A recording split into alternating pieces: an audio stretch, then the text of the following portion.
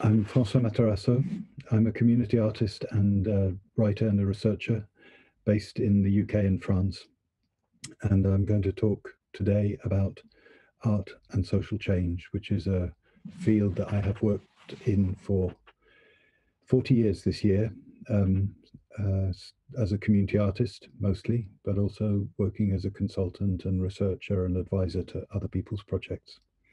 I work freelance, and so and I pretty much always have. So I, I will speak from my own perspective. Let me share this presentation. Okay. So, art and social change. I'm going to talk quite generally about this topic, but I'm going to try and root those general ideas in some specific experiences. And mostly that will be clear from the, the photographs that I will show, including this one, uh, which is from a project called the Portland Inn Project in Stoke-on-Trent in the UK. Stoke-on-Trent is a, a former industrial city with a history of mining and steelworks, but especially is famous for working for its potteries.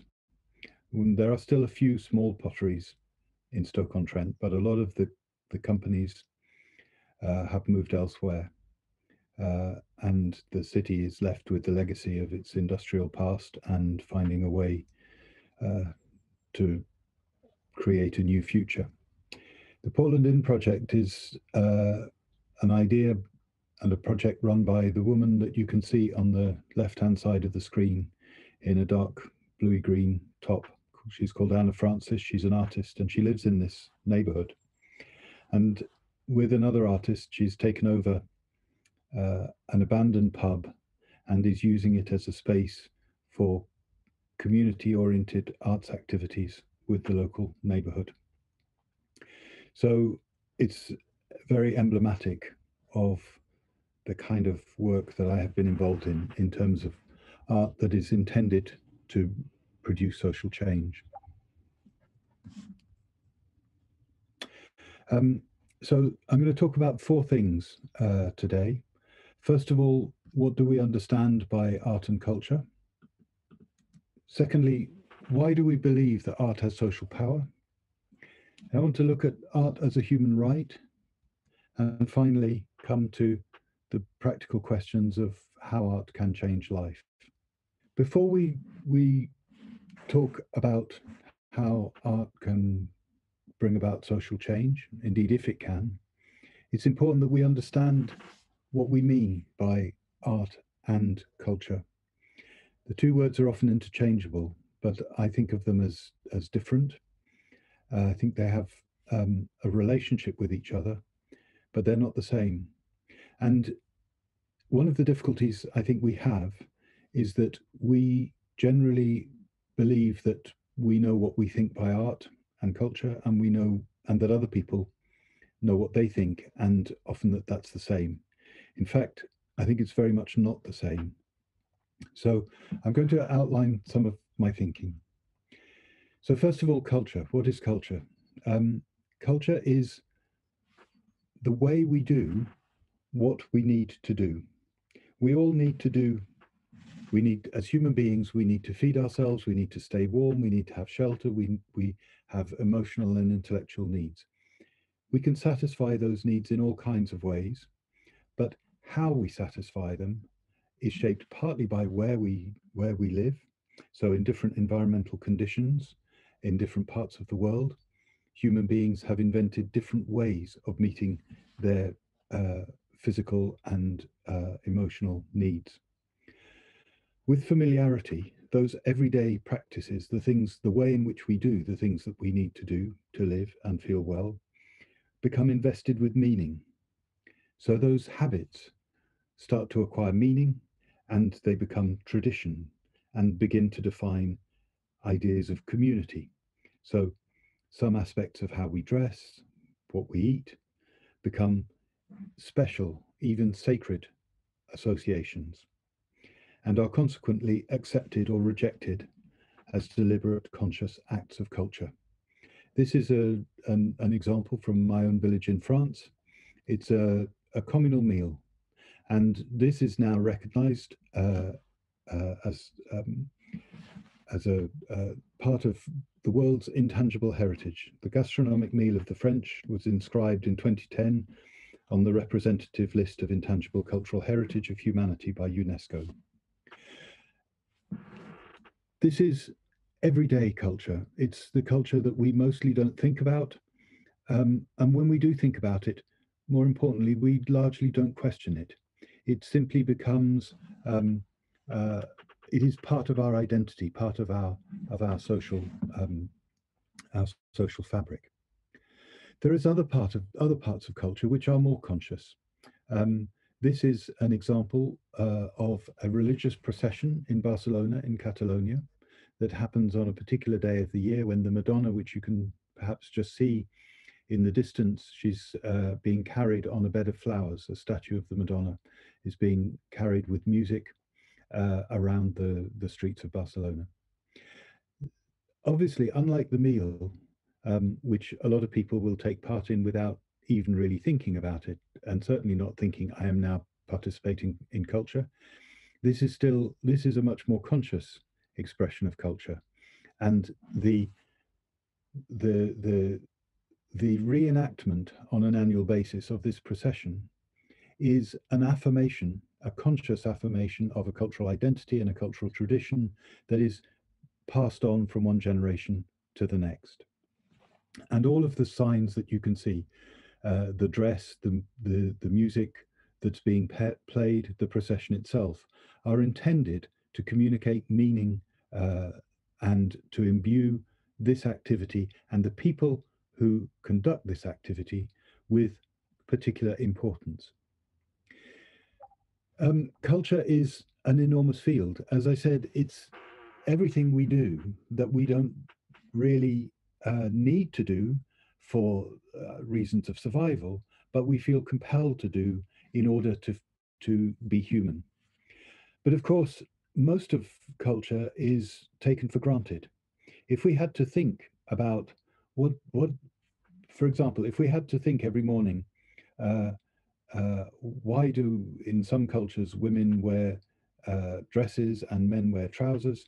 and what does it mean if I put trousers on or if I put a skirt on this morning, we would never get out of the house. Um, so all of these cultural habits and choices we take for granted and we just accept them most of the time. Art is different. Art, at least since the uh, the idea of art that was that emerged in the European Enlightenment in the late 18th century, that uh, what we mean by art in those terms is different from culture in a number of ways but the most important to me and from from in the context of what i'm talking about the most important difference is that art is questioning unlike culture which is largely unself-conscious art is self-conscious and it asks questions about the meanings that are being created art is very often seen and described and talked about and thought about as a as a class of things, a, a taxonomy of things. So sometimes that may be seen as forms like visual art or music or theatre, or at a more uh, concrete level as objects. So a sculpture is art, um, but a wheel is not art. They're both uh, objects. One serves a purpose, the other largely doesn't, or at least it pretends that it doesn't serve a purpose. And of course, the difficulty is when you have uh, uh, artists in the 20th century putting found objects into galleries and calling them sculptures, they are challenging our ideas of what sculpture is and consequently of what art is. This way of thinking about art, I think, is unhelpful. It has, uh, it is, it was never very helpful when it was invented during the Enlightenment, the original classification of fine arts in the Enlightenment was uh, exactly that, a taxonomy of things. So music, architecture, sculpture, painting, uh, poetry were the original fine arts. And the art world has struggled ever since because human beings keep inventing new ideas and new forms of art that the art world has to try and fit into this taxonomy. Uh, so when photography came along, it had to decide, is this an art? It's not painting, but what is it? Uh, the same with new forms of music. Is jazz an art form? Uh, uh, uh, is it a fine art? The art world has consequently spent an enormous amount of time and effort and intellectual uh, investment in trying to police the boundaries of what is art and what isn't, and what should be seen as valuable and what should not. I want to propose an alternative way of thinking about art, which is simply this. The art is an act with specific intentions. In other words, when we create art, we do so for a very specific intention. I say create because the act of art brings something into existence which did not previously exist.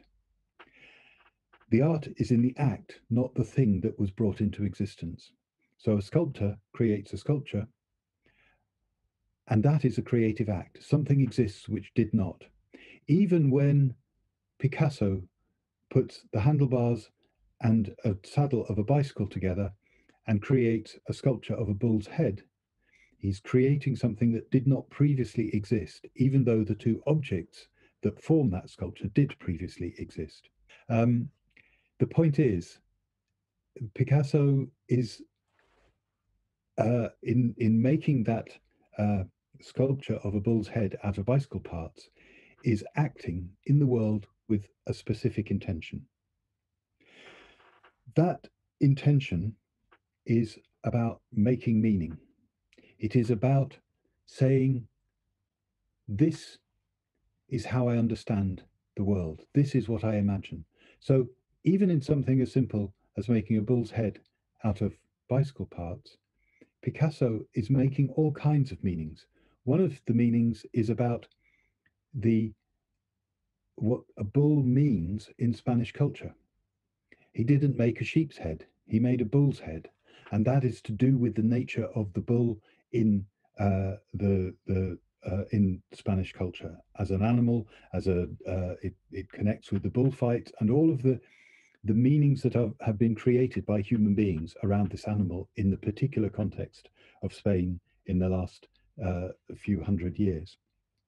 But he's also making meanings about uh, what it is to be art and who can make art and how it's made. So it is constructing, uh, uh, when you make art, you are trying to make a meaning out of your experience, out of your imagination, and then you are trying to communicate that meaning to someone else. Here is another example. This is a, an example from the National Museum of uh, Bosnia-Herzegovina. And uh, the the title of the of the project was called I am the museum. The uh, the artwork is not the tiger. Obviously, a tiger is not an artwork. A tiger is a being, a creature. Uh, even when it becomes uh, uh, a stuffed tiger, as this one is, it is at best um, an object. The artwork is the photograph here that came out of a project organized by supporters of the National Museum of uh, uh, Bosnia-Herzegovina in Sarajevo, an artwork that, that was partly a political campaign in protest at the neglect of the museum, which had not received any funding for months and eventually years because of a political dispute among the government, the entities, the political parties of the government of Bosnia-Herzegovina. And that left the people who were employed by the museums, the curators, the technicians, the custodians, it left them without pay, without resources. It forced the closure of the museum. But what those people did was to preserve the museum as a symbol of uh, Bosnia Herzegovina and its culture and its identity. And so this artwork is a photograph of a curator looking after a derelict museum that cannot function. And in taking this photograph, the photographer and the artists around and the campaign are creating meaning out of a situation. They are saying, this is important and it's wrong that it should be happening like this. And that's what I mean by making art as an act in the world, an act of meaning that intends to communicate and because it intends to communicate, also intends to bring about change.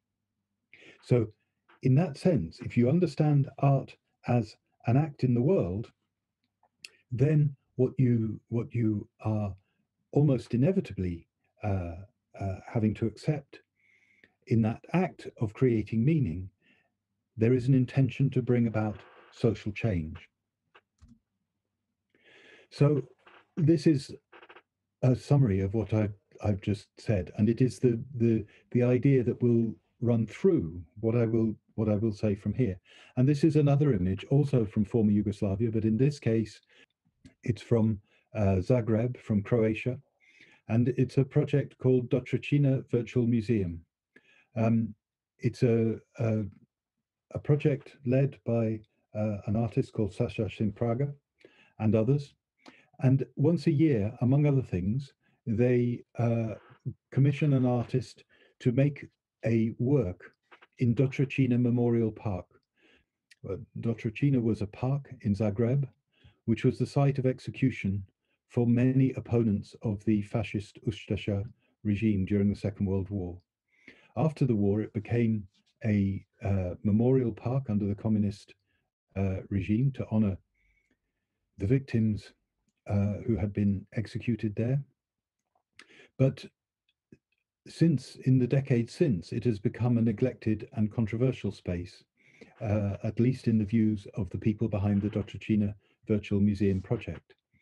And this, uh, the photographs that you can see is of a, an artist commission where the, the artist invited people to come and stand uh, in a sunlit spot in the woodland in the park on the National Human Rights Day in September and stand for 30 minutes at three o'clock in a sunlit spot.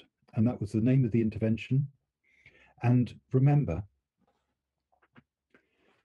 remember the people who might, for whom this might have been a final moment. It's a very moving, a very simple artistic intervention. And about 100 people joined in. It, in effect, cost virtually nothing to do. But it is exactly what I mean an artistic act to create and communicate meaning. This, at another, in another way, is a, an equally powerful artistic act, a very personal one that was created, it's a photograph that was created by um, a person in a project that I was involved in in working on about 30 years ago. He was a person living in a psychiatric hospital. And as part of, of that, that work, he worked with a photographer called Ross Boyd to create a series of images. Uh, he was also a passionate poet and he wrote a lot of poems uh, that I think were some of which were, were extraordinary as part of the project as well. And this image, as you can see, it's the simplest thing in the world. Um, it's something that he saw and that spoke to him, and that now, 30 years afterwards, can speak to strangers. And that is what art is it's the creation of meaning through an artistic act. So, why do we believe that art has social power? That belief has existed since at least classical times. Uh, Aristotle, Plato, other Greek philosophers wrote about the importance and power of art, and partly because they feared it, they sought to control it, to impose structures on it, social structures. Um, here is, in a way, out of slightly uh, to one side, an explanation of why I think art has social power, or part of the reason. This is from a book uh, by an American philosopher called hermeneutics, which is the, if you like, the the science of the study of interpretation. And he writes, every matter of fact is a matter of the interpretation that picks out the facts.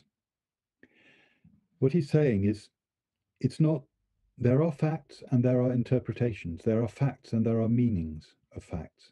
There, there is, there are objects and there is art.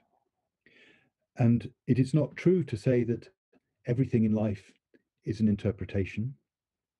Um, it is certainly a fact that the earth goes round the sun and not, as the ancient Greeks thought, the sun going round the earth. But what we consider to be a fact, what we look at and what we don't look at, the facts we choose to give importance to, and the facts we don't choose to give importance to, is always an interpretation. And those interpretations are how we construct social reality. So the park in Dotršćina has existed in Zagreb for decades, and it has been used in different ways at different times. But it is also a place of stories, a place of meanings, and sometimes those meanings are imposed by the state. Under Yugoslavia, the Dotršćina Park was renamed a memorial park. It becomes part of a narrative about uh, the war and history and the and the meaning of history. And then after the Yugoslav state, it becomes treated differently because different narratives are dominant. All of those are interpretations, and art is used continually to create interpretations, to create meanings, and who controls those meanings is really, really important. Nowadays, it's easy to go to a classical concert and listen to an oratorio by Bach and not to think about the religious purpose of that oratorio. But Bach only wrote his oratorios as part of, to be performed as part of religious services. The fact that many of the audience, maybe most of the audience that goes to listen to his music, doesn't share his religious beliefs is simply uh, a, a, change in interpretation.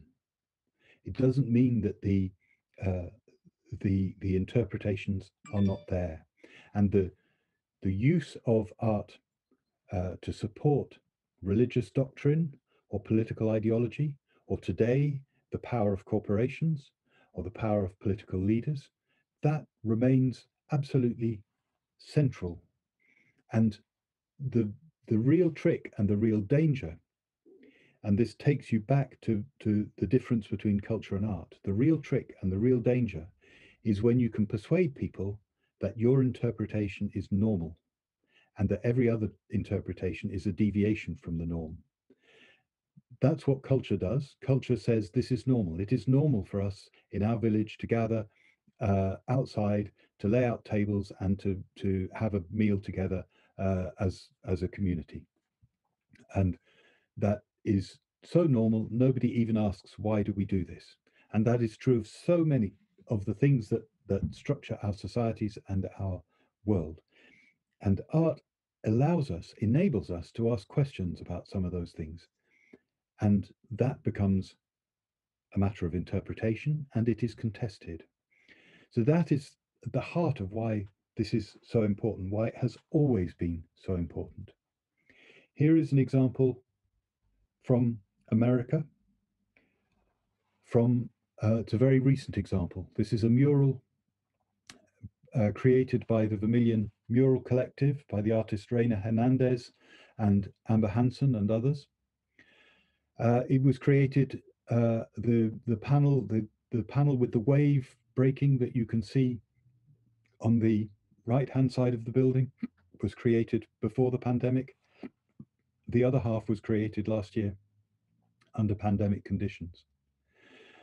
This is Vermillion is a small town, a university town in South Dakota, um, uh, a, a, a, rural state in the north northern Midwest, a small population, but a, a strong uh, heartland of indigenous peoples of um, uh, of North America, the Lakota people in particular, and the artists who painted this were uh, principally people, women of color uh, indigenous uh, um, people uh, who were members of the indigenous community. To to make this painting representing uh, only women of color, indigenous women, representing uh, Lakota uh, stories and myths and symbols uh, is a significant statement and creation of meaning in an area which largely uh, is uh, votes for Republican and conservative uh, um, political uh, leadership. And the process of negotiating permission and the iconography of this uh, image is a process of, I would say, cultural democracy. It's the process of a community coming together to discuss and to negotiate and to agree what it is possible to say, what meanings it is possible to say and bring into public space. Part of that, which I wouldn't, uh, I didn't know, and it was the artist who who uh, told me, the two uh, the two figures, the two young women who are holding up the name of the of the uh, painting, which is a, a Lakota word, which I I won't embarrass myself by trying to pronounce. The two young figures who are standing holding that up that is uh, a scene, they are holding um, the line between tr the tradi tradition and future, as you can perhaps see from their, the way they are dressed. But it's also an image taken from uh, the uh, Beyonce uh, uh, visual album called Lemonade, which uh, Reyna Hernandez is, feels is a masterpiece. And so there are layers of meaning and interpretation here, all of which are planned and intended. And the creation of this work and its continued presence in Vermillion is part of that uh, creation of meaning and the questioning. This is art questioning culture. It is questioning Lakota culture, it is questioning indigenous culture, but it is also questioning global culture. For instance, uh, it's impossible to see the wave behind the central figure on the on the the right hand panel without thinking of Hokusai and asking what is the connection between a 19th century uh, Japanese printmaker uh, and and this place and, and these cultures, but also the the uh, the colonial culture and the post-colonial culture that is uh, now uh, the makeup of South Dakota's mixed uh, um, communities. So, is art a human right? I hope you will see that from what I have been speaking about, given the importance of art as a power in society and as a way to create meaning, then I think uh, it follows that it must be a human right. This image, by the way, is from a uh, created by a wonderful group of mostly older people living in South London called Entelechy Arts, who are a remarkably uh, uh, creative and and um, interesting group of people. None of them is a professional artist, uh, but they are all uh, in different ways very gifted and committed artists. Uh, and they made this image to advertise the, the, weekly film night they they do in their in their community centre. So is art a human right? It has been since 1948 in Article 27 of the Universal Declaration of Human Rights. Everyone has the right freely to participate in the cultural life of the community, to enjoy the arts, and to share in scientific advancement and its benefits. It's the first half of that that has always interested me. Everyone has the right freely to participate in the cultural life of the community. What does that mean? Well, I think everything that I've been showing and this image are examples of people freely participating in the cultural life of the community. But I need to unpack what participating in the cultural life of the community means and to look at how practically art can change lives. Last year I worked on the Rome, the 2020 Rome Charter, um, and I tried to think through what it actually means, as we said in the Rome Charter, to participate fully and freely in the cultural life that's vital to our cities and communities? And the answer I came up with that it is by helping us gain capabilities. That's how art practically can help us change our lives.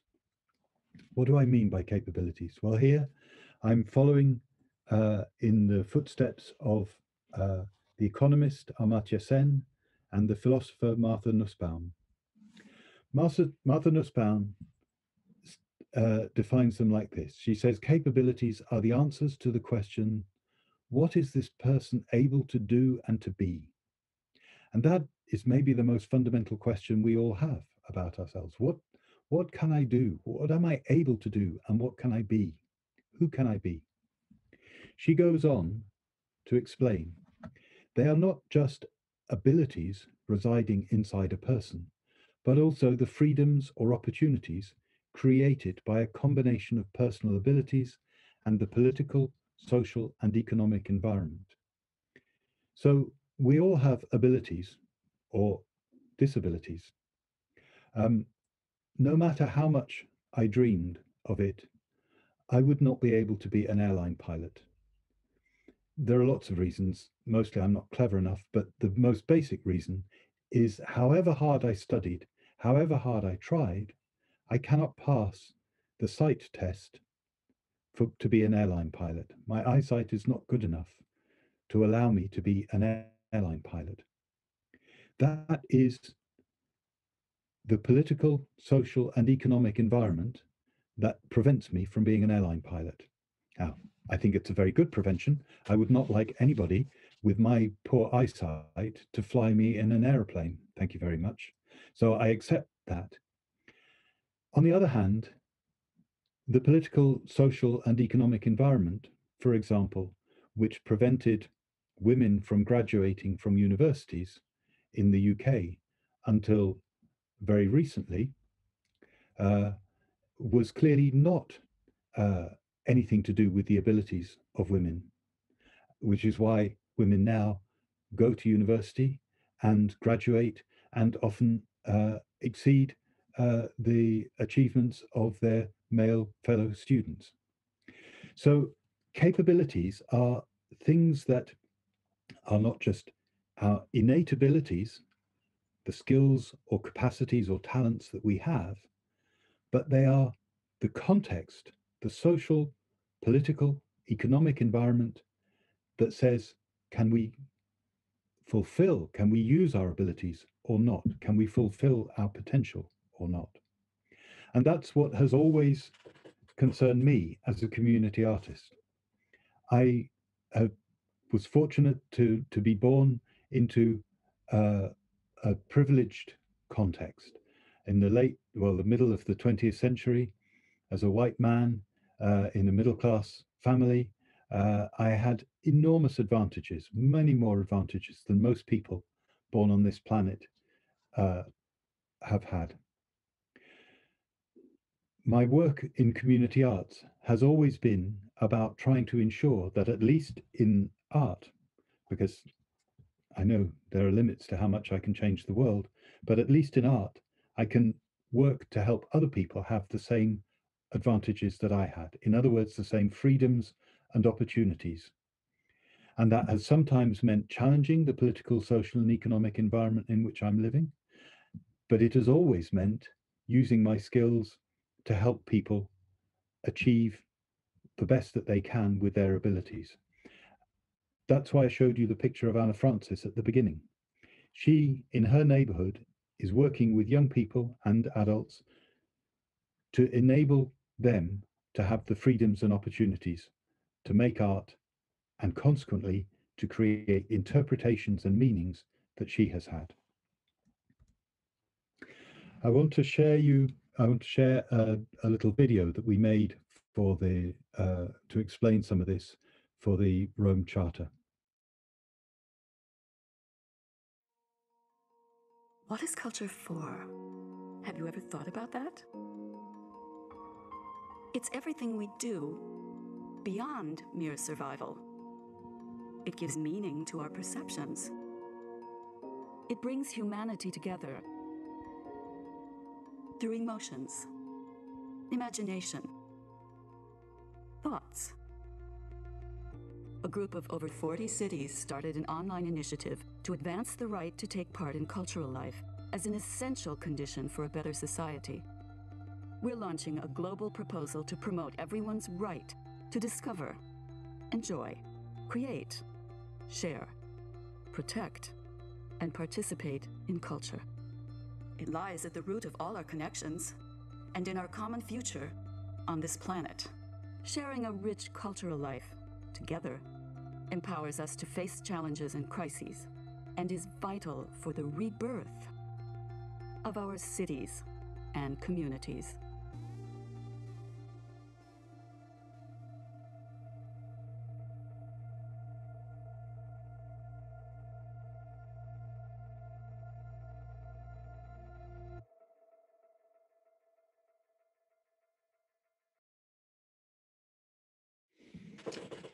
So, in thinking through what it means to be able to participate in the cultural life of the community, I propose five capabilities. In other words, the things that everybody should be able to do in their relationship with culture in order to fulfill their abilities. And you heard those at the end of the film. They are discover, enjoy, create, share, and protect. And they are deliberately simple and clear. I wanted to offer a set of a framework for ideas that anyone could understand and remember, and that is part of the moral contract that a state or a cultural institution can make with the people it serves. That in cultural terms, in ensuring that they have the cultural, the right to participate in the cultural life of the community, we should all be able to discover, enjoy, create, share, and protect our culture. We may not want to do all of those things. We may not want to do all of them at the same time in our life or for the same reasons or to the same degree. But the important thing is that we should have those capabilities. And I'll conclude this talk by talking through what I mean by those capabilities. So by discover, I mean simply, and this may happen most as a child, but it can happen at any point in life, discovering what your culture is, who you are, what is your inheritance, what is the tradition, cultural tradition and world in which you're going to be brought up by your parents or by the adults who care for you? What is the culture of the society that you belong to? And crucially, what is the culture of the other people in this world? You have the right to, dis- to be able to be enabled to discover that. And this is an image from a project called Fun Palaces, which is a huge grassroots led campaign to enable people to discover and to share their cultural uh, knowledge. But that culture is also about discovering other people's culture. This is an image from a project in, in France called Banlieue Bleue, which, which is a jazz festival, but does a lot of work with young people.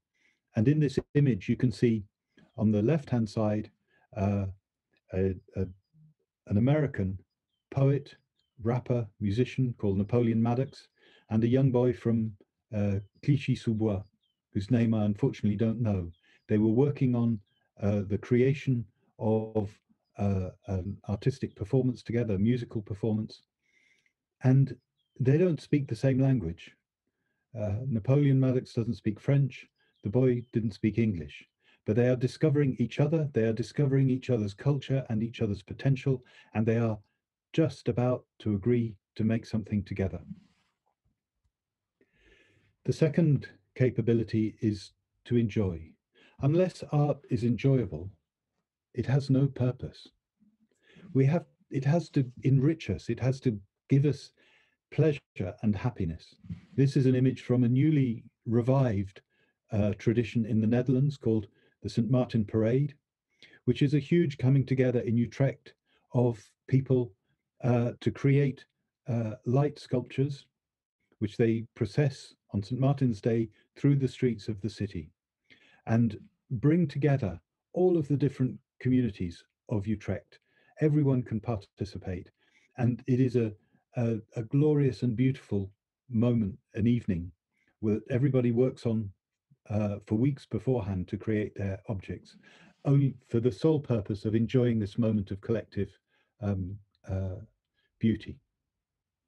A different example from Warsaw, uh, Polin, the, the new Jewish museum uh, that was opened a few years ago, and a choir that has been associated with it and is regularly performing music uh, as part of, of the program of that uh, institution. And again, this is a different kind of enjoyment, but the enjoyment of being able to perform and to sing uh, and to be part of this, this experience. Create. We are not only recipients of culture, we are also the creators of it. Unless we are able to create the meanings and interpretations that are meaningful to us, we cannot be full citizens in a democracy. That's why it's a human right. This is an image from a performance called This Is Not For You by uh, a theatre, it was created by a theatre company called Graeae, which is the first uh, UK theatre company uh, of disabled uh, artists. Was will celebrate its 40th anniversary this year. And this was a, a play that they uh, created with 25 disabled ex-service people, men and women. Uh, the person at the forefront you can see is a man called Jez Scarratt, who was a former Marine and is now an amputee of his right leg. That's what it says on his t-shirt. As part of this theatre performance, he's currently wearing a label that says 50%, which shows the amount of his pension that he's entitled to for the injury that he has sustained. This is a very powerful piece of theatre made by a group of veterans who feel that they are forgotten. And the title of the piece came from one of the veterans because on the Remembrance Day service on the 11th of November, he was attending a war memorial and somebody shouted at him. I should I should have said he he was a uh, a wheelchair user. He was attending the the memorial service at the war memorial in his town and somebody shouted at him, Hey, you, this is not for you, this is for the dead.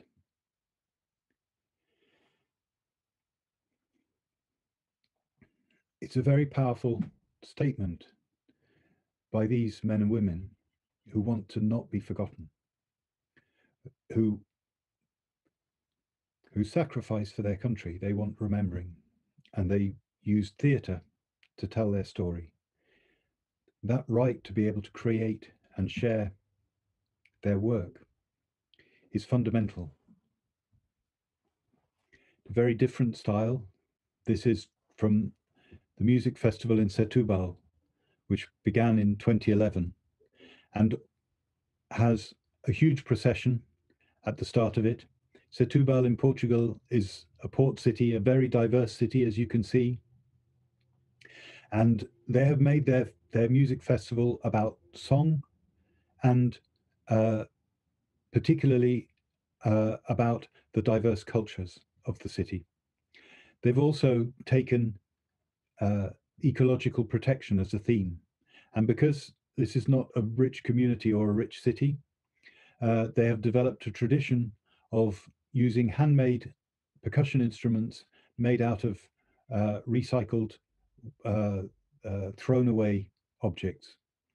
So they are creating music that has all kinds of political meanings and interpretations in something as simple as a parade of several hundred young people through the streets to open the festival. Share. It's one thing to be able to create your own culture, but you also need to be able to share it with others. Otherwise, the meanings, the interpretations that you have created are stillborn. This is an image from a project in Portugal, a photographic project. There was, uh, the project worked with young offenders uh, detained in youth prisons in Portugal, and they worked with them to enable them to make photographs with little homemade pinhole cameras so that the, the young men made pinhole cameras and then were able to take photographs. This is a particularly moving example.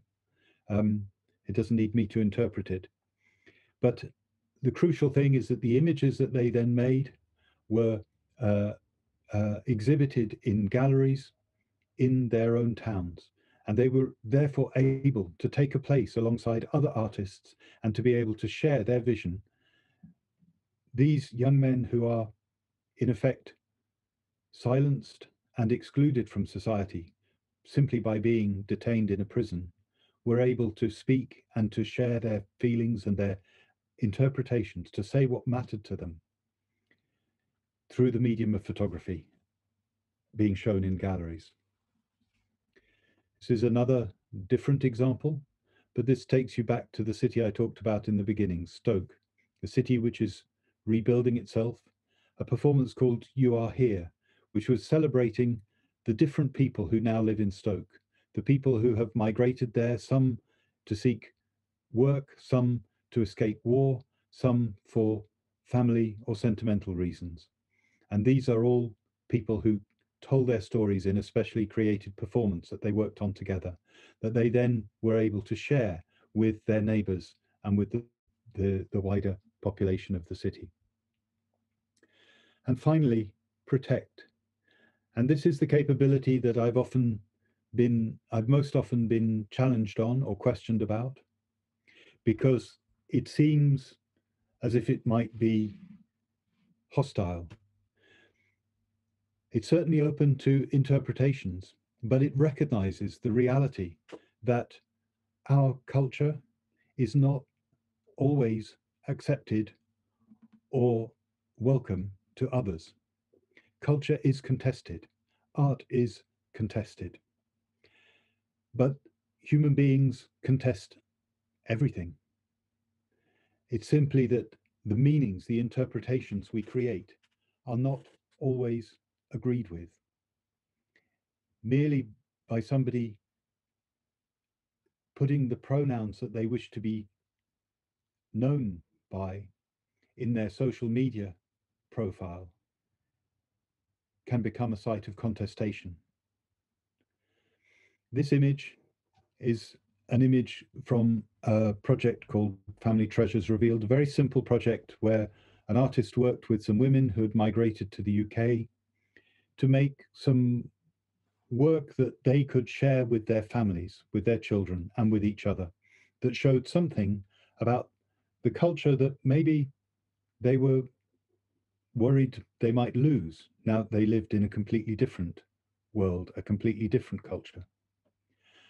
When we are a minority, sometimes our cultural traditions, our language, our food, our dress, these things can be really important to us because they're wrapped up in our identity. And much as we are, we like and are happy to live in a new world, we don't want to live in this new country if that means that we're not allowed to retain our existing language or our existing traditions. But equally, in the new country, people may feel that their traditions and cultures are threatened by the changes in the people they see around them. Culture, I talked earlier about in, in the mural in South Dakota and the presence of indigenous women of color in that mural. And I used the phrase cultural democracy. Cultural democracy is the space and the processes by which we can learn to negotiate and to understand and to hear each other and to learn to empathize, learn to use our imagination, learn to understand that actually the fact someone else wants to keep their language or their culture alive is not a threat to me. And the fact I want to keep my language and culture alive doesn't need to be a threat to them. And this is an example from a project I worked on in Bulgaria about 20 years ago. Um, uh, the revival of traditional Catholic uh, music and dance in a small uh, town in central Bulgaria. There are very few Catholic communities in Bulgaria. And of course, under the communist period, these traditions had been stifled. And the project that I uh, was a, able to to help uh, through a program called Living Heritage, precisely connected teenagers and grandparents who did not have a particularly good relationship in this town. The teenagers were bored and had nothing to do. The grandparents would walk past them and feel intimidated by them. But by working together to revive their cultural traditions that only the grandparents remembered, but that the teenagers could take pride in and confidence in, they created uh, not just one but two dance uh, groups in the in the cities in the city and were able to to create a festival and to invite the other Catholic uh, villages uh, in their region to come and take part in. So this protecting and celebrating their own cultural traditions and integrity and identity is fundamental to all of us. And our challenge is to do it in ways that is not threatening to others, but actually encourages empathy and understanding across the differences and divides. So I'll finish there and simply say that uh, on this website, arestlessart.com, you can find information about a lot of the examples I've shown. You can also find um, a book which describes and talks, explains a lot of the things I've been talking about, and leave you with this final thought in response to the question of does art produce social change? If art were not a powerful force, it would matter less who controls it. Thank you very much for taking the time to watch this and listen to me.